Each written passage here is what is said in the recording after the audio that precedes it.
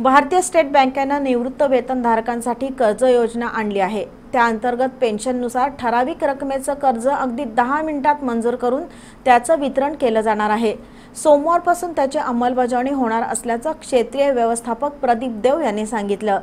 तसंच सोनं तारण ठेव योजना अधिक गतिमान केली जाणार आहे. भारतीय स्टेट बँकेनं ग्राहकांसाठी अनेक नव्या योजना आणल्या आहेत. गेल्या आठवड्यात बचत खात्यावरील किमान रकमेची अट काढून टाकण्यात आली. आता पेन्शनधारकांना कर्ज देण्यासाठी नवीन योजना आणली आहे.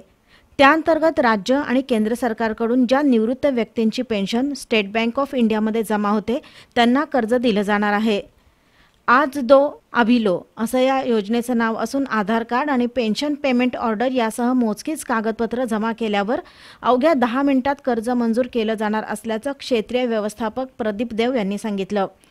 पेन्शनधारकांना कर्ज उपलब्ध होत नसल्याच्या पार्श्वभूमीवर हा महत्त्वपूर्ण निर्णय घेण्यात आल्याचं त्यांनी सांगितलं. सोमवारपासून या योजनेची अंमलबजावणी होणार आहे. दरम्यान सोनं तारण कर्ज वितरण प्रणाली अधिक सुटसुटीत आणि गतिमान करण्यात आल्याचं देव यांनी सांगितलं.